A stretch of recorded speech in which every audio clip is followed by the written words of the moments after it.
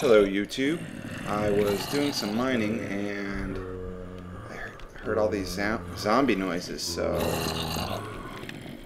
obviously there is a zombie dungeon somewhere very nearby and that's something new and exciting and I was digging out a coal.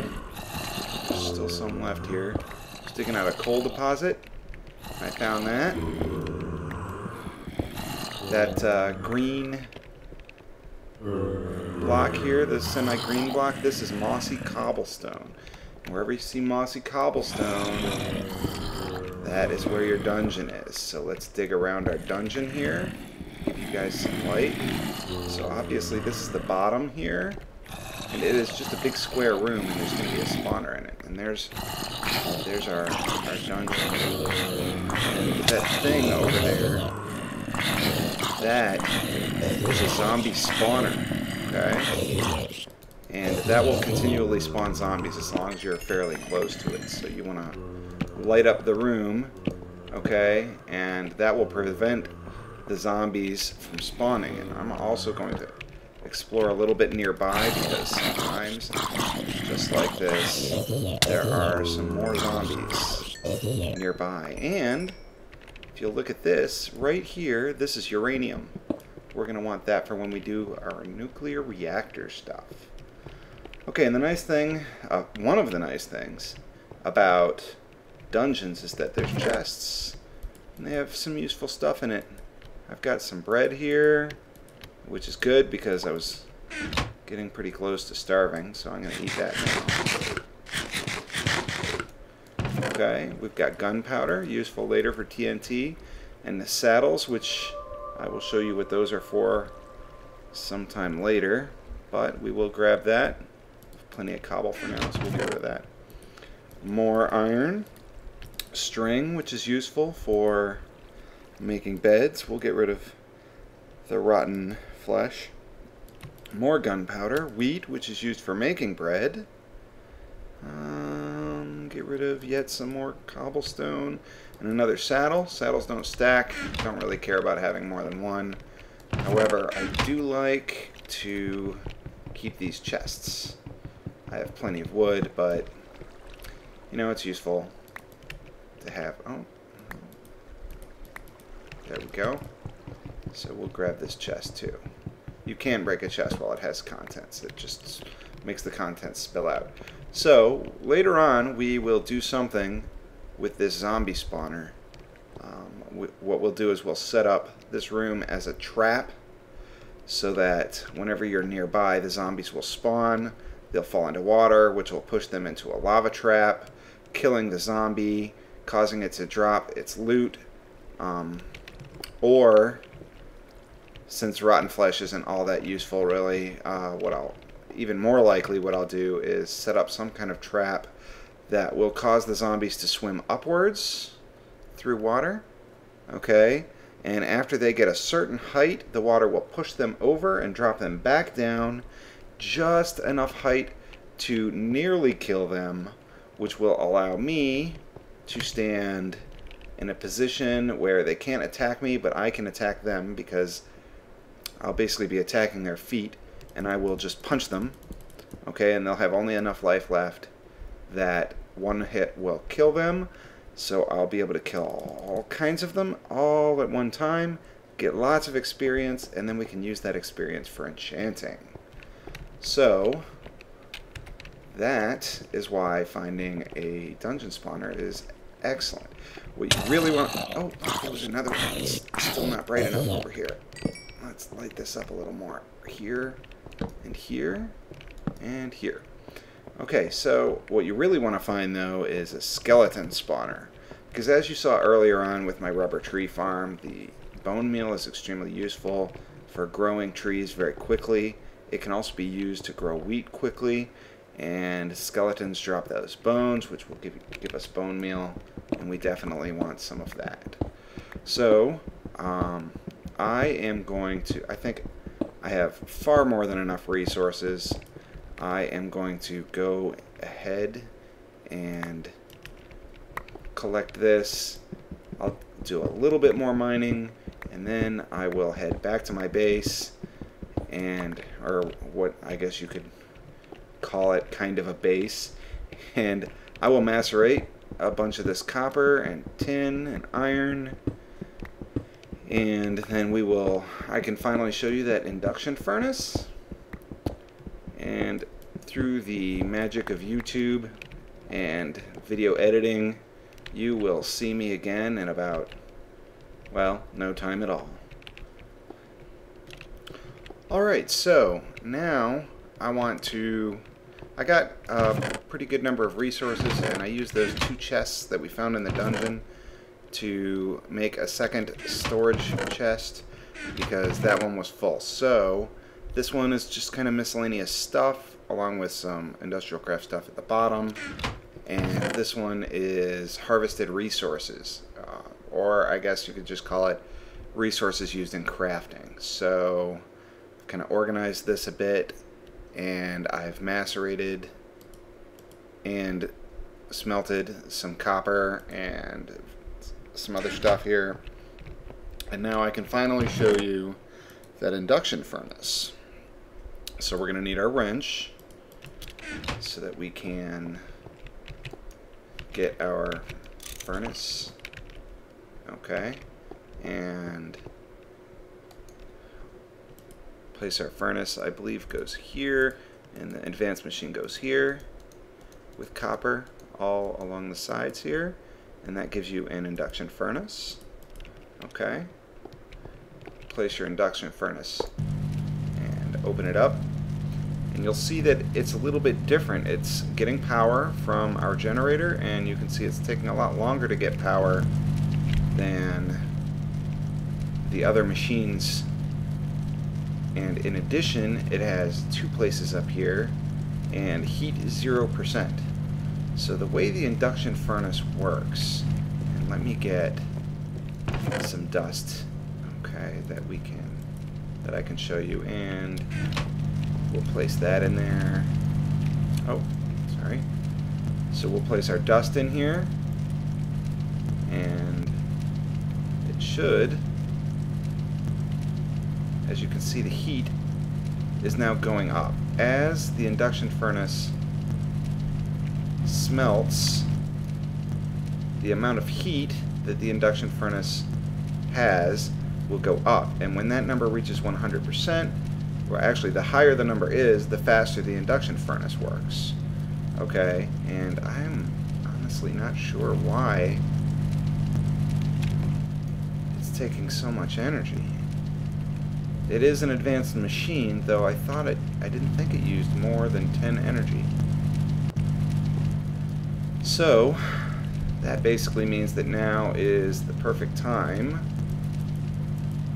to show you guys the next thing that we're going to build. And for that, we're going to need 12 tin, we're going to need some redstone, and we're going to need some copper. Okay, so first we're going to need I'm sorry, I'm doing this wrong. First we're going to need batter rechargeable batteries, okay? And this is the recipe for rechargeable batteries. We do need three of those. Okay. And those are going to go like so. We're going to put wood along the bottom and the two top corners and another copper cable here and that gives us a bat box okay and I'll show you what the bat box is for we're gonna dig this out okay and we're gonna change the way energy is being distributed from our generator. We're going to get rid of this copper cable down here and we're going to place it again. And you don't need a special tool for removing the copper cable. It, you can just do it by hand. So what I want to do is this is our generator here, okay? So I'm going to replace the copper cable that was there. Okay. And I am going to place our, let's see, what's the best way to do this? I need to be able to see better. I'm going to place our bat box right here. Okay? And the bat box you can use your wrench to change its facing direction. You see it has a little dot there. That dot represents the output, okay? So, we want our dot to face up, and you can see that the copper cable just went in and you heard the generator turn on when I changed the direction, and that is because the bat box holds energy for you okay, and it outputs 32 energy units per tick. So now we want the output of our bat box to go into our machines. So let me fill this in.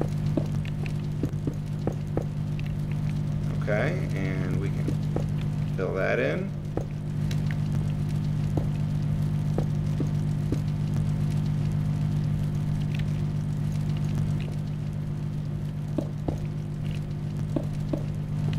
Now, it's just going to keep burning that energy up and putting it into the bat box. And another thing about the induction furnace that I forgot to mention here, and this is actually very cool, uh, what you can do is, since it only heats up when it's cooking things, there is one way to keep it at a higher heat level. However, it does cost you energy units per tick, and I'll show you how to do that basically you just create a lever which is made like so okay? Or any anything that provides a redstone signal will work but I like to use a lever. Okay put your lever in a place where it can power the induction furnace okay? So any adjacent tile to a lever will power will be powered by the lever. And um, I'll show you how that works before we proceed here uh, redstone is a little bit too complicated to do in one video, but I can give you the basics fairly easily. Um, redstone is just basically an on-off signal, and as you can see, this redstone dust, it connected to that lever because the lever is a source of, of signal. So if I turn the lever on, we have power. If I turn the lever off, we don't have power. Okay, and you can see that it will work this way as well see. Okay, so what we're going to do is we are going to put our lever right here. Okay, and then we're going to flip that lever and if you watch the heat is going up now. However, that costs you one energy unit per tick to maintain. Now when you have a constant supply of energy, it's really not that big a deal. That's one solar panel dedicated to your induction furnace being at full heat all the time. On the other hand, I am using a generator right now, so I'm not going to get um, permanent energy from that. So I'm not quite ready to set up solar panels yet, but I do want to get a little bit more energy. Kind of tired of having to go out to chop down trees for and then put the trees in the furnace to get charcoal and then put the charcoal in the generator to get energy. It's kind of a big hassle. So the next thing I want to show you is going to be something that can give us more energy than the generator and a little bit less troublesome. So the first thing we're going to need is some more tin. We need two, uh, I believe they're called empty cells. And to make that, we need four tin. Okay, but the four tin doesn't make two, it makes 16. These, these empty storage cells, they're, let me see if I can find them. Here you go, empty cell. 410 makes 16 of them. They're supposed to be kind of a disposable kind of thing. As you can see, this is already at 22% heat, going significantly faster than even the electric furnace was going. So induction furnaces are great. As soon as that gets to 100%, I can show you that. Oh, and that reminds me, uh, I did make a bucket, which is made with that recipe right there, either iron or tin. Okay, and I went ahead and put some lava in it, and I'll show you why in a moment. But uh, we're also going to need four glass for this. So let's just heat this up in the glass. Okay, and let's see what else we need. I am going to be making a geothermal generator. And it looks like we're going to need a generator for that. Two refined iron, and we've got the rest, so let's see. I have no refined iron on me. Let's go over here. Looks like I do have one refined iron and some iron dust. So let's heat up one iron dust and turn that into refined iron. And now we have our two. And we also needed the generator. And the generator needs that furnace, a machine block, and a rechargeable battery. So for that, we are going to need more refined iron. So let's cook up more of this.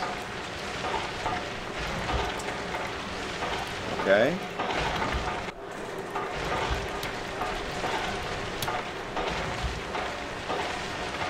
And we will make that machine block.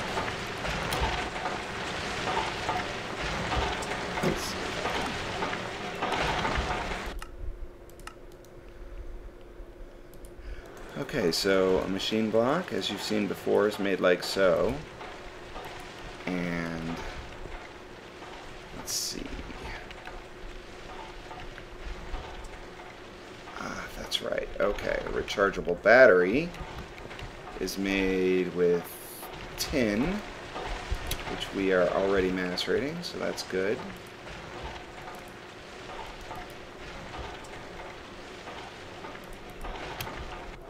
Okay, and let's not do all of it just yet.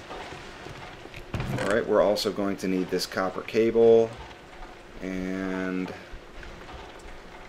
two redstone. So let's make our battery.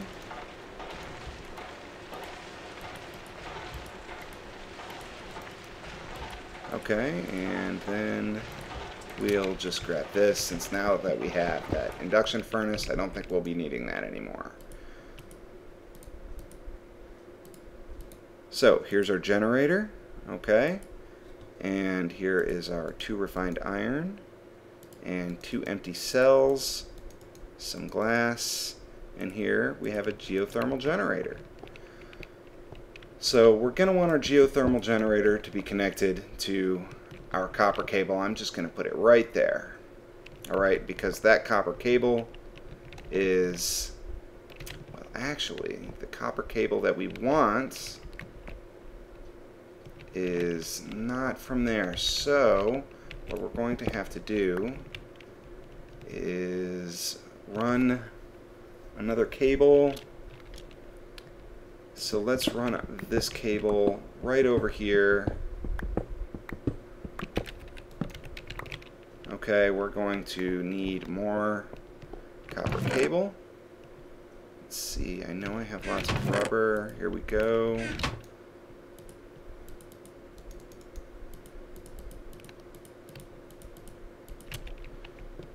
Okay.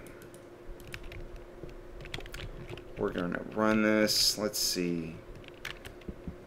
I don't want it to connect to my machines, so we're going to run it just like this. Okay, keeping in mind that we do get energy loss after the on the fifth cable. So that's one there, two, three, four, five, and this would have energy loss. So for the time being, it looks a little bit horrible, but it is going to be temporary. We will just put our geothermal generator right here, okay? and the way the geothermal generator works is a lot similar to the normal generator except it takes lava okay so you just put the lava down here at the bottom and you see it got used up immediately and lava the geothermal generator generates 20 energy units per tick and one bucket of lava will give you 20,000 energy, whereas one coal would give you 4,000 energy. So, as you can see, our bat box is powering up. And there is a source of lava very close to the bottom of that ladder. So it should not be too difficult keeping that full. Now you might think, well, buckets don't stack, so what am I going to do? Well, let me show you what I'm going to do. We'll go ahead and go and get more lava for our geothermal generator because one bucket is obviously not going to be enough to cover us permanently. And there is lava just around this corner. So you just right click with your bucket like so and then put your bucket right here and your empty cells right there and you get a lava cell. Okay, so doing this, you can you can get lots of the the geothermal generator will take those cells as well. So let me show you how that works. And the lava cells stack and they're considered to be the same amount of lava as a bucket can hold. So that's 20,000 energy from each lava cell. So those three lava cells that I just created, plus the bucket that I already put into the generator, that is going to be 80,000. And charcoal is 4,000 each, so this should last us a significantly longer amount of time. All you do is you put your lava cells in here, you see it ate up all three of them instantly because I believe it can hold, it can process 12 at a time. So our bat box is going to be more than full, and we are in real good shape with energy, and you can see our furnace is at 100% heat, so let me show you how fast it is. So as you can see the induction furnace is a very nice machine to have. So let's grab that and we'll turn some of that into into refined iron as well because we'll be making plenty more industrial craft stuff. Alright, so that's the end of the episode. I showed you the geothermal generator. We went over energy loss with copper cable and oh not sure what's going on here oh our bat box is full that's what's happening and it's using one energy at a time to keep our induction furnace going. So that is what's happening. Anyway induction furnace geothermal generator buckets. We saw that dungeon very cool the zombie dungeon. And we organized very nice. So if you like this episode Please click like and subscribe. Thanks for watching.